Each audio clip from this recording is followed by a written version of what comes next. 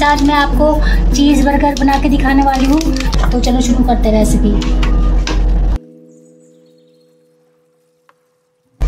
तो सबसे पहले गैस का फ्लेम ऑन कर लेंगे और कढ़ाई में तेल थोड़ा सा रख दिया मैंने। और ये उबले हुए आलू हैं। दस ग्यारह आलू हैं ये उबले हुए। इनको स्मैश कर लेंगे। ब्रेड रोल जो होता है, वड़ा पाव जो होता है, बोंडा होता है, कटलेट होते हैं तो ये सब्ज़ी कई चीज़ों में काम आती है। तो हमने जो तेल चढ़ाया था कढ़ाई में गर्म हो गया है। इसमें एक चम्मच जीरा डाल देंगे, छोटी वाली चम्मच, और आधी चम्मच हींग। गैस का फ्लेम कम करके अभी मसाला डाल देंगे। ये धनिया पाउडर है, जो कि डेढ़ बड़े चम्मच डाल दिए मैंने।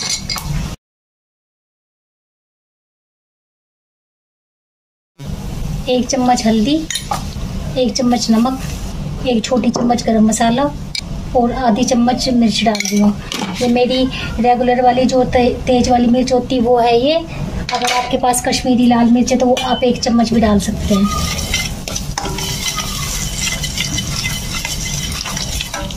मसाले को मिला के आलू डाल देंगे इसमें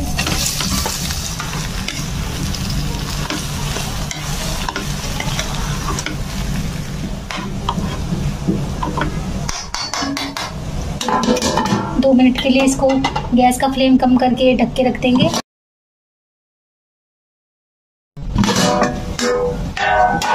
दो मिनट हो गई है और हमारी ये सब्ज़ी बन गई है। बस इतनी देर रखना होता है इसको, क्योंकि थोड़े से मसाले कच्चे ना रह जाए इसलिए। तो ये सब्ज़ी बहुत सारी चीज़ों में भरने के या मतलब कि जैसे ब्रेड रोल बनाते हैं या टिक, वो टिक्की बनाते हैं या कुछ भी बनाते हैं तो उसके लिए काम आती है। कटलेट बनाते हैं, बोंडा बनाते हैं। तो सिंपल सी रेसिपी है ये, और काफ़ी अच्छी सब्ज़ी बनती है। फ्रेंड्स मैं आज आपको बिना अंडे की मेयोनीज बना के दिखाने वाली हूँ।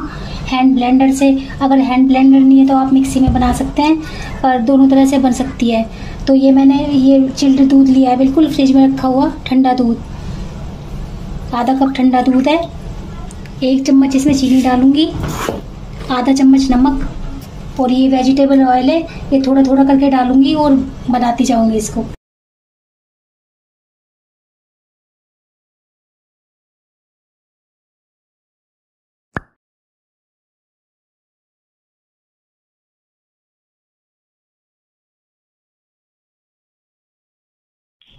एक चम्मच इसमें सिरका डालना है, जो सफ़ेद वाला सिरका होता है।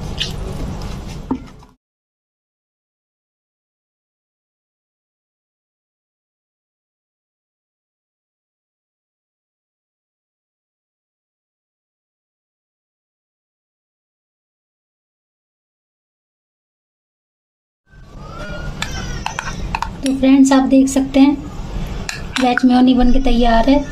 और जैसे हम इसको फ्रिज में रखते हैं, ठंडा करते हैं तो ये और भी ज़्यादा थिक हो जाती है, और भी ज़्यादा गाढ़ी हो जाती है। तो बहुत ही सिंपल सा तरीका है इसका। और अगर हैंड ब्लेंडर नहीं है तो इसको मिक्सी में बना सकते हैं। वो भी मैं आपको कभी बना के दिखाऊँगी अगली बार। और जैसे क्रीम से भी बना सकते हैं हम इसको, जो क्रीम आती है उससे भी। आज मैंने दूध और वेजिटेबल ऑयल से बनाया था। अगली बार मैं आपको क्रीम वाली म्योनीस बना के दिखाऊँगी।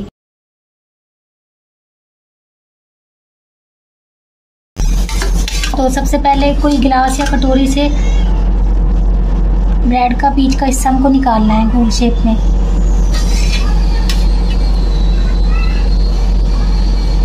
और जो ये साइड के किनारे हैं, ये भी हमको रख लेने हैं। ब्रेड क्रम्स बनाने के काम आएँगे तो हमारे दस पीस तैयार हो गए हैं गोल। इनको हम एक साइड रख देंगे और इनके ब्रेड क्रम्स बनाएँगे। मिक्सी के जार में टुकड़े करके डाल देंगे।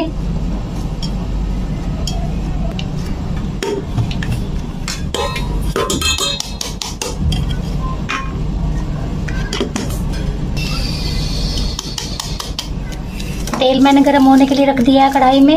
इतने हम ये तैयारी कर लेते हैं।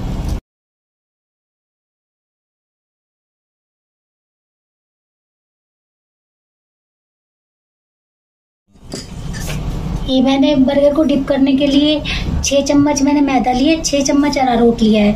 अब इसका बैटर बनाऊँगी। पानी इसमें आवश्यकता के अनुसार डलेगा।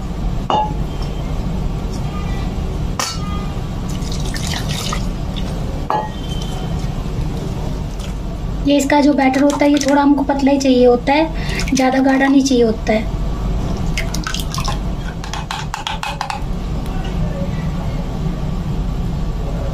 सबसे पहले मेयोनी लगाएँगे। दूसरी ब्रेड पे भी मेयोनी लगाएँगे।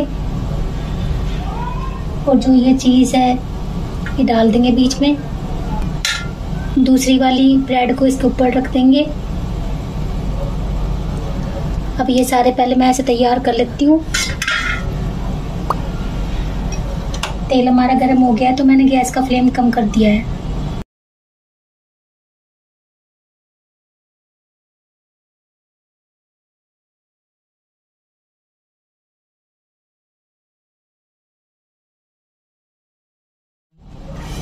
ये हमारे तैयार हो गई है। अब इससे जो आलू की सब्ज़ी है, इसे कोटिंग करनी है। तो इसको टिक्की टाइप बना लेंगे।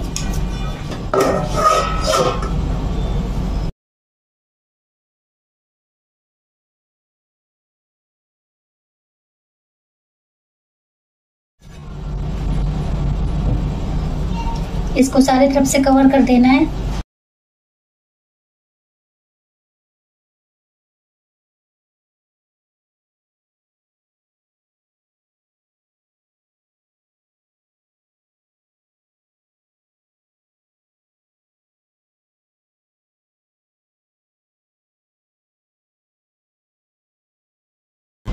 तो सारे हमारे ये तैयार हो गए हैं। अब इसको डिप करके डालेंगे।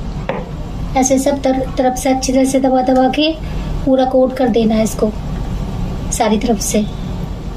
तेल गरम हुआ नहीं हुआ देख लेते हैं। तेल गर्म हो गया है। अब इसको पहले इसमें डिप करेंगे। जो मैदा का और अरारोट का घोल बनाया है।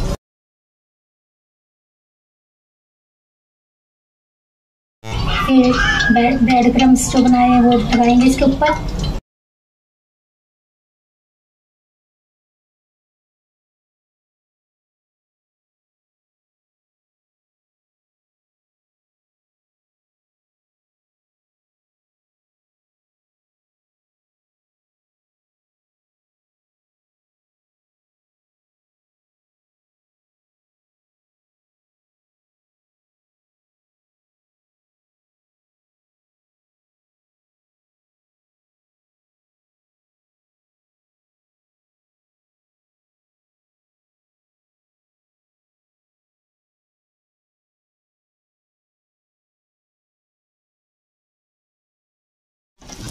तो फ्रेंड्स आप देख सकते हैं कि काफ़ी क्रिस्पी बनते हैं ये, क्योंकि तो इसके ऊपर ब्रेड क्रम्स लगा हुआ इसलिए।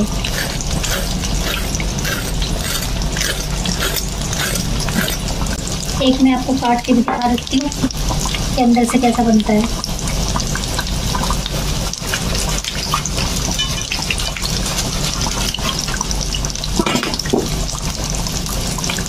आप देख सकते हैं, जो हम चीज़ लगाई हमने, वो भी दिख रही है और काफ़ी अच्छा बनता है ये।